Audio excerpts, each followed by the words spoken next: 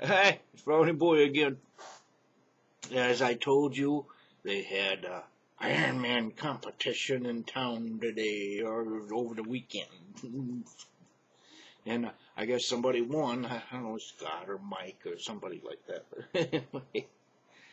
But I tell you what, I bet you that Iron Man don't know how to sew a hole in the overall.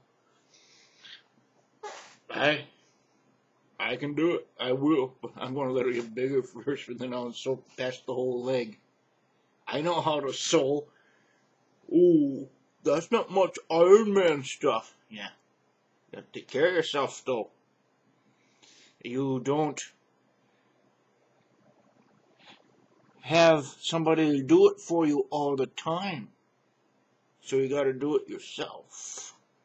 That's what it takes. You have to take care of yourself every day.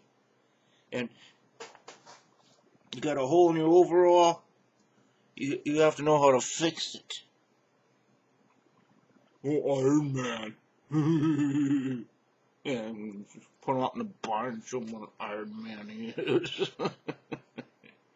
but hey, you know what? I I I, I like uh, all the comments I've been getting. Really good. I like it. And if someone, somebody can send me some blueberry muffins, I'll take them. right? Thanks for watching the Ronnie Boy Show.